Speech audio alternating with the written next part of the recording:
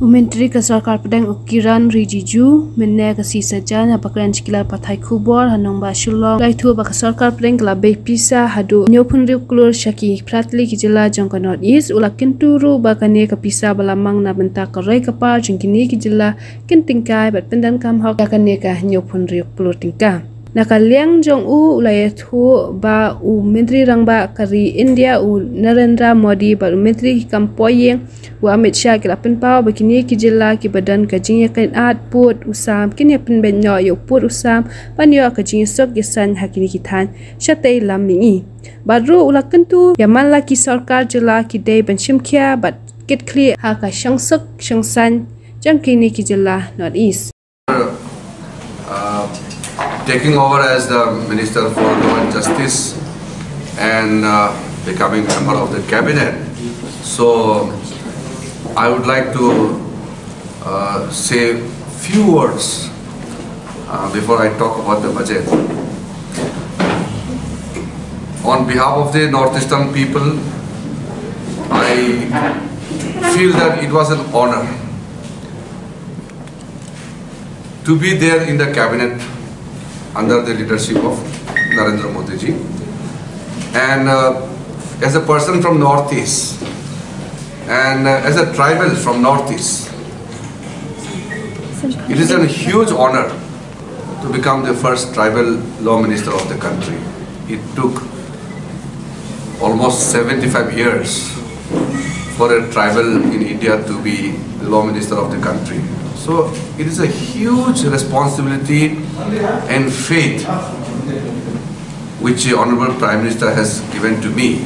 So I feel that to become the Law Minister of the country is not an honor for Kiran Rijiju. It is an honor for the entire Northeast and the entire tribal community of the country. Secondly, this is also the first time that there are two cabinet minister and three minister of states at the same time in Union Council of Ministers.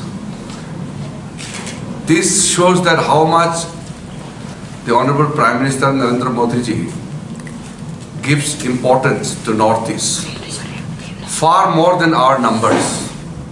Normally, democracy runs with numbers, but for Prime Minister Narendra Modi ji, numbers do not matter all the time, but it is his uh, emotional connect, especially with the people of Northeast, which has uh, made him to give a huge representation, that too with the critical, important portfolios in the cabinet.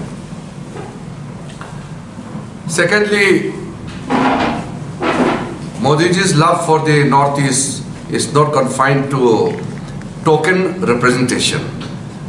It is packed with huge support in terms of providing infrastructure, providing all important critical supports for the welfare of the people of Northeastern region. Now, when it comes to infrastructure, which requires huge investment, in last seven and a half years alone, we have received the budgetary support which we have never received in last five, six decades.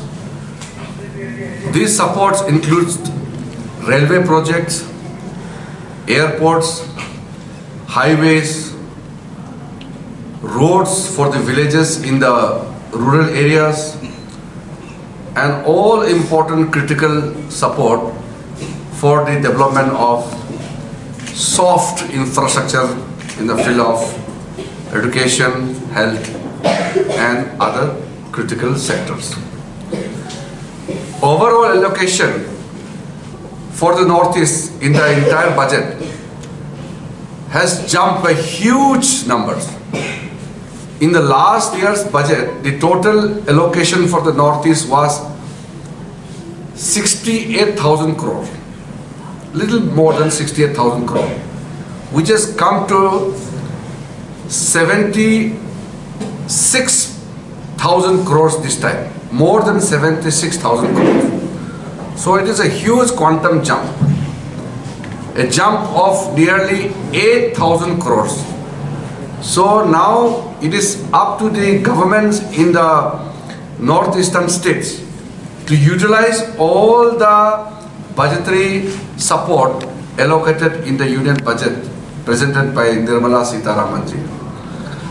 Other than this quantum jump of 76,000 crore, the PM DevINE, that is a Pradhan Mantri, Prime Minister Development Initiative for Northeastern Region, in short, it is known as PM DevINE, 1,500 crore is given extra.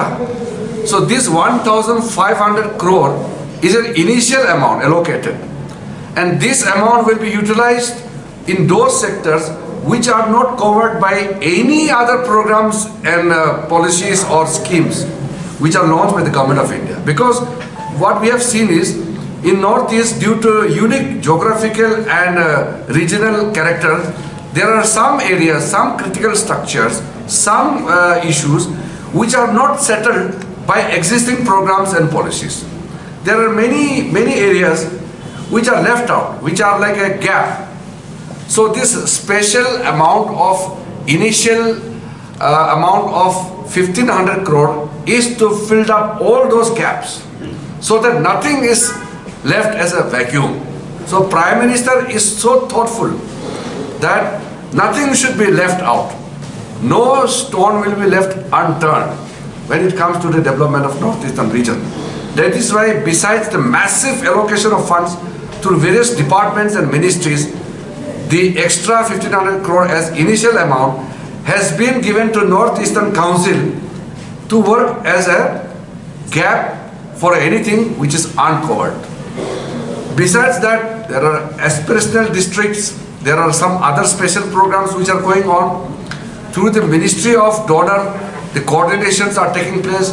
I belong to uh, Northeastern region, so I also take special interest to ensure that some of the schemes allocated under the budget are implemented properly. So it is a moral duty on the part of everyone to ensure that all the funds which are allocated in the union budget must be utilized prudently. And a place like Shillong, which is a, known as a very progressive city in the northeastern region, being a very old city, people of Shillong and people of Meghalaya will definitely wholeheartedly welcome the union budget because this budget has given provision for every section of the society. So nobody will be left out, whether it is uh, uh, with regards to electricity connection or gas connection or potable water at your doorstep, banking accessibility through all this uh, Jan Dhan Yojana, and all important critical uh, requirement of the common people are being taken care of under this budget. we have a, very friendly government in Meghalaya. I'm sure our government is part uh, part of the our party is part of the government. So I'm sure uh, our honorable chief minister Conrad Sangma, who is very young, very dynamic, he will ensure under his leadership all the schemes all the programs and all the amount allocated under the union budget of 2022-23 will be implemented effectively in the state of Meghalaya. So friends, as I said, you all are aware of the budget, you have gone through the budget. I felt it not necessary to go into the entire details of the budget, which you already know it, but I have just given a cover up, uh, backup uh, the, the spirit behind the budget to ensure that with good intention this budget has been presented and keeping in mind the need of the common people everything has been taken care of including the special support for the northeastern region. It's a huge territory. It's the biggest state in northeast India and the entire northern part of Arunachal is very, very mountainous, high altitude and tough areas where the border with the uh, Chinese side is not being defined. So sometimes some of our people go and uh, they cross over without knowing the, because there's no demarcated lines. Sometimes uh, the Chinese side also they venture into our side. So there are many instances where uh, Indian forces have taken the Chinese people into custody, those who cross over, and sometimes our people also cross over. So this keep happening. So whenever there is a report of our people going or missing uh, or going towards other side, the Indian Army do contact its counterpart, the PLA, and uh, informations are exchanged. Many a case we get back, if, if there are some issues which are unresolved, we continue to pursue it. Chief Minister um, knows very well and uh, the Home Ministry is dealing with the matter. So if I make an announcement here, it will not be wise because the matter which are under discussion uh, should be uh, dealt uh, very carefully because uh, the Chief Minister and the state government and the union government, whenever required, if announcements are to be made or decisions are to be taken, it will be taken. But for me, at this moment, to make an out-of-turn announcement will not be appropriate. The Home Minister Amit Shah has already asked all the states of uh, Northeastern region to amicably settle all the unresolved boundary issues amongst themselves without resorting to any violence. So sometimes uh, the problems arise along the border lines, some actions uh, by some local officers or local people do generate tension. But it is uh, the responsibility of the state government and the administration in the district level to ensure that if there are any disputes, unresolved boundary issues, there should be peaceful negotiation and there should be uh, formal talks and uh, it should be resolved in a best appropriate manner. The border issue, land issue is always sensitive. So it must be treated carefully, it must be dealt with uh, proper care so that after all we are not enemies. We are seven sisters, now with Sikkim eight. Uh, we must ensure that we coexist peacefully and we have to show our ability to handle all the issues in a best possible manner peacefully is very difficult to go ahead. So peace and development must go hand in hand. So I was also Minister of State for Home Affairs for five years in the uh, previous term. So I know very well because I have dealt the matter uh, very closely.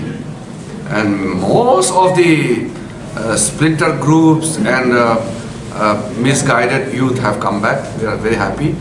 We are hopeful that few remaining will also come back. It's always there to help and assist the state government to ensure uh, the law and order situation in the state remains uh, very, very much uh, under control.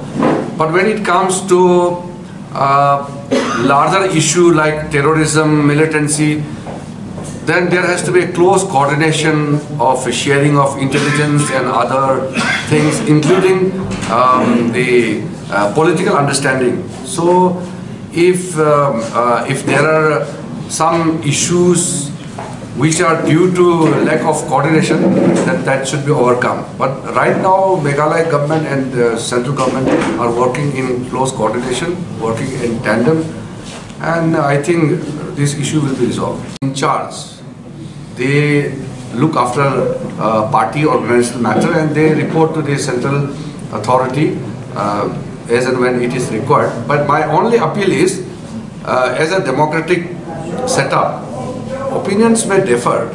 You know, a person's opinion may um, uh, have a different from the another's point of view. But it's a teamwork. We need to work together. If we if we coexist peacefully, if we work together, we move together, then we will progress together. So progress of the party depends on how united we are. So there may be a few differences, but that is not called division or that is not a, big problem. It's, it's all internal matter which, which are easy to be sorted out. Provided under the union budget and programs and policies of the Narendra Modi government, number one, must reach out to the people. Number two, people should know that central government has taken such huge steps for the benefits and welfare of the common people.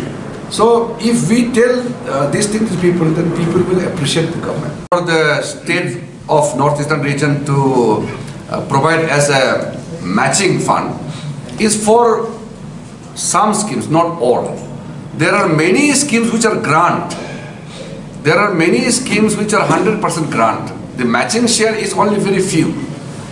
Rest of the states, in some schemes, the contribution of the state government is 40%. In some of the schemes, it is 75%. And uh, in some schemes, it is 50-50. But northeastern region is wherever require, required, the matching grant is only 10%. But as I said, many schemes are in grant. The highways, the roads, these are all 100% grants. The individual beneficiary schemes are all 100% grants. The 10% budgetary sub, uh, the matching grant is for very limited schemes. Yes.